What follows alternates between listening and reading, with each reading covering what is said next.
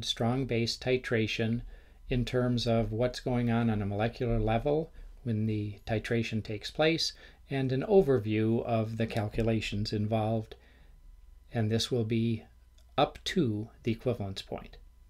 So we're titrating a weak acid with a strong base and we are going to be pretty much only showing the predominant species in solution, the things in high concentration. So for example, HA is a weak acid. Uh, it dissociates very little. There's a few HAs that are dissociated, and we're not, in general, going to be showing those. So before you start the titration, before any titrant has been added, you simply have a weak acid in equilibrium. And this is a thing that's been done before. The weak acid doesn't dissociate much, but it does a little bit. And again, we're generally not showing the small amount of dissociated species.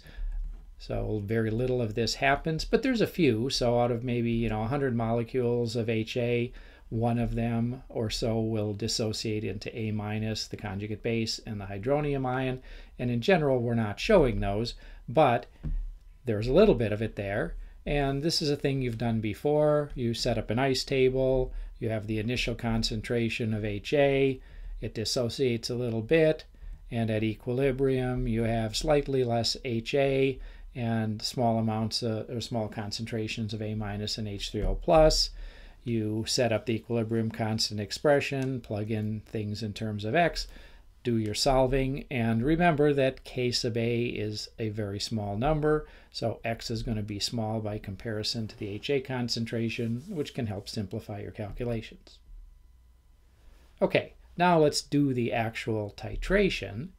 So if we start adding hydroxide to the weak acid solution, hydroxide ions are going to encounter weak acid molecules, HA. They'll grab onto the H plus make a water molecule, and essentially the reaction that takes place is HA reacts with OH minus to make the conjugate base A minus and H2O, and the water will then go into the background, and essentially you're taking uh, an HA molecule and the strong base is converting it into the conjugate base of that HA molecule. Okay, so continue the titration a little bit more.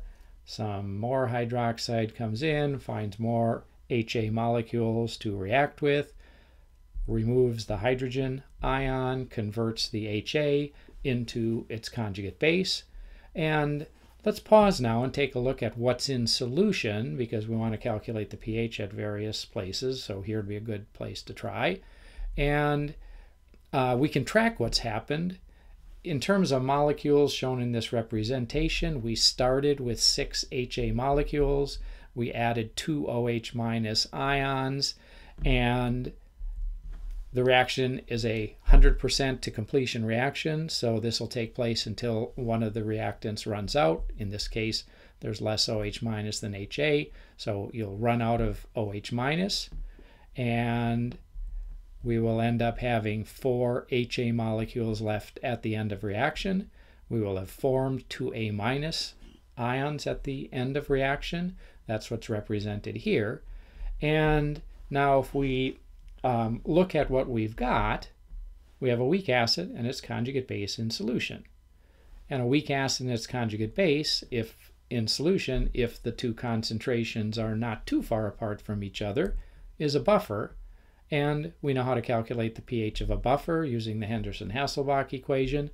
And so it's just a um, make sure that you have the k sub A value for your weak acid, get the concentrations of the weak acid's conjugate base after reaction, which was what we just tracked in that uh, reaction table, and you can calculate the pH. Okay, we keep titrating, add more hydroxide, reacts with more HA, turns it into or converts it into its conjugate base.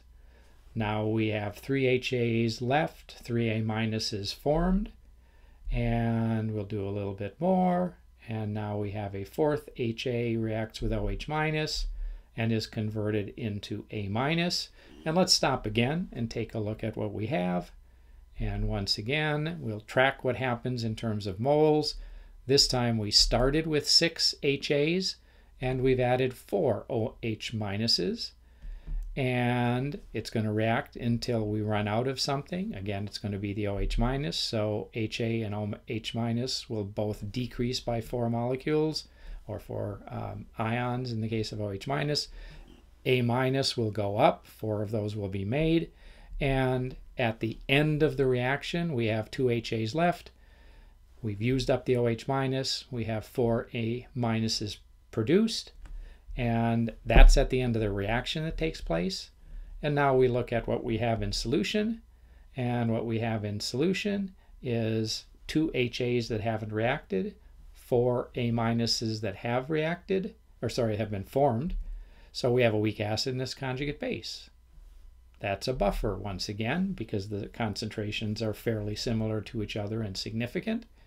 And we can once again determine the pH at this point of the titration using the Henderson-Hasselbalch equation if we get our HA and A minus concentrations, which we can determine from the amounts left after reaction. Okay, and if we keep on titrating, more HA is converted into A minus.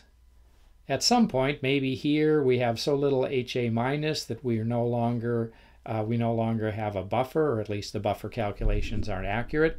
Um, we can always do a calculation with the k sub A uh, expression and normal equilibrium concepts, um, but we're still before the equivalence point.